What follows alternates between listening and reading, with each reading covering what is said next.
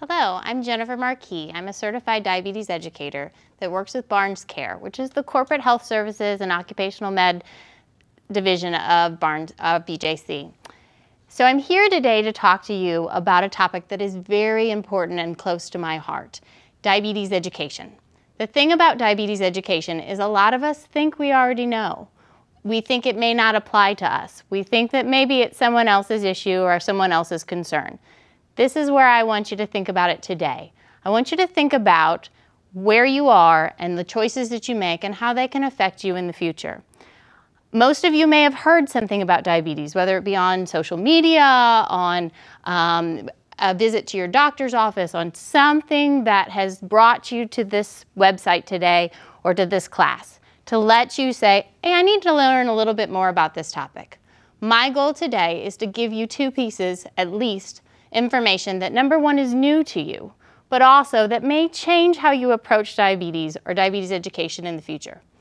So what we're going to do today is we're going to look at changing our perspective, looking at the background, looking at where we come from and where we are going. The truth of the matter is diabetes is everywhere. There are 29.1 million people in the United States that have diabetes. 21 million of these individuals, or one out of every 11, already know that they have the disease. They have the condition. They're being followed or seen by a healthcare provider, or they're aware of some of the, the concerns of this condition. The scary fact is one out of every four Americans has the disease but is not aware. They are undiagnosed. So that's a lot of people.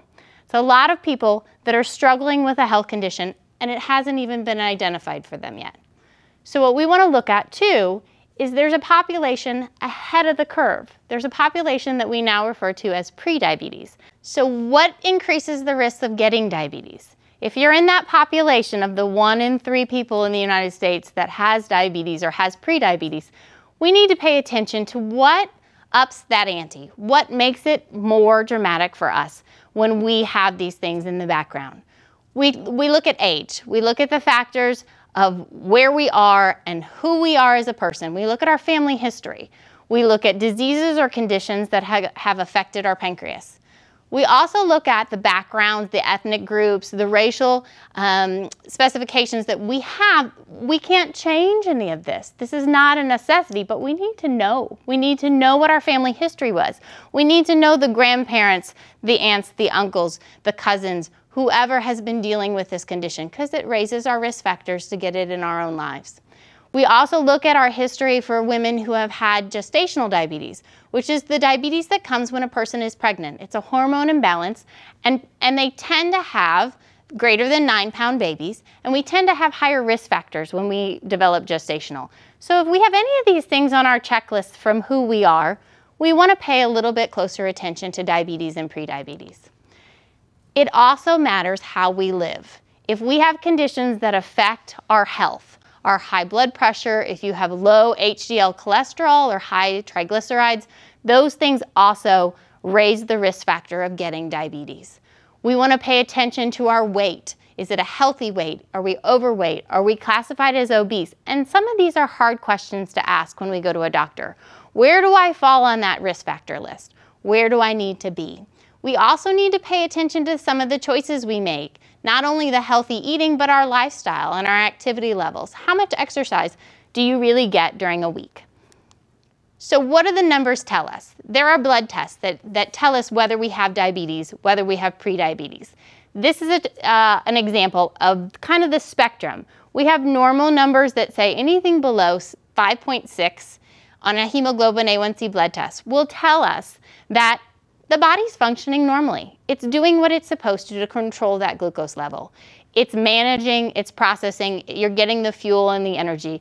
If you have some symptoms of diabetes that and you get a blood test done and it's normal, part of us just take a deep breath and we say, okay, we're good, right? But there may be some other causes. There may be a reason that you feel fatigued or tired or weak, and we might need to address that with a physician or another healthcare provider. If you have prediabetes, you fall in this middle area, which is 5.7 to 6.4. The importance of this number is a lot of times you're given a number, and if you don't ask what it means or aren't told what it means, you don't know that that affects your risk factor. If you don't know that the test was run on you or you don't know when to ask for it, it's really a challenge to be able to make changes in our lifestyle and to make behavior changes last. With diabetes, we classify that as any A1C that is 6.5 or above. In that case, what we try to do once there is diagnosed diabetes is get as close as possible to that 6.5 as we can.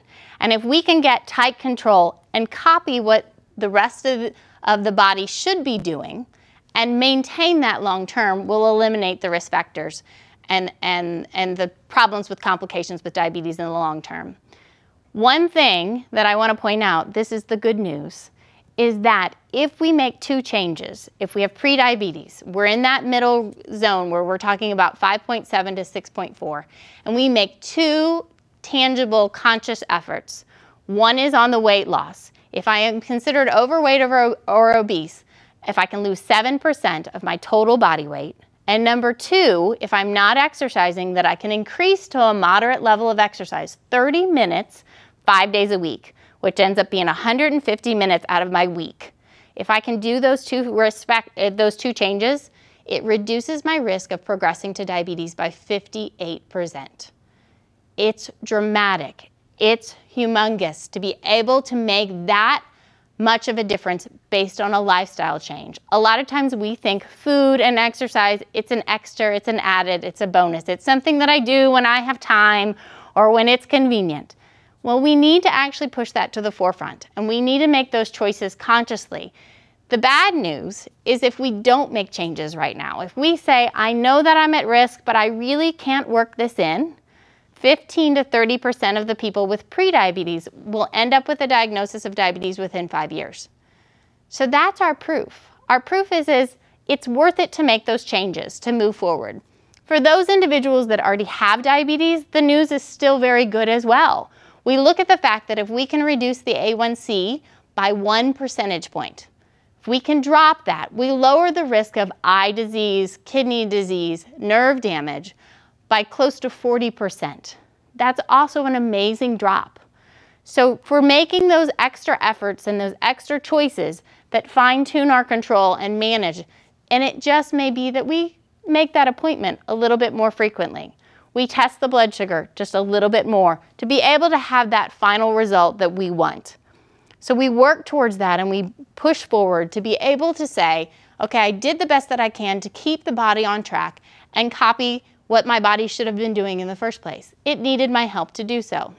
Benefits of diabetes, education, are, are, go right along with these reductions. We end up taking less medications, we end up reducing risk factors, we have a greater understanding and empowerment of the disease itself.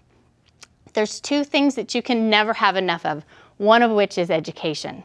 The other is the drive and the willingness to make a change if you see that possibility it's very, very important to be able to look at your situation and make choices. So what we do with this is we look at it and we say, hey, I can't do X, Y, Z, but I'm going to do this instead, right? It's all about the results and the changes that we want to make.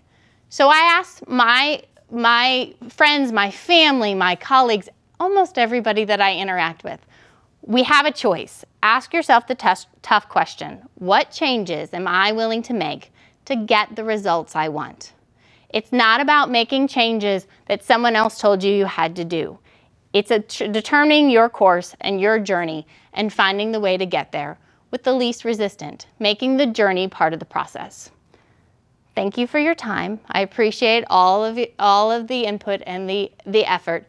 And if I can be of any help, please don't hesitate to ask.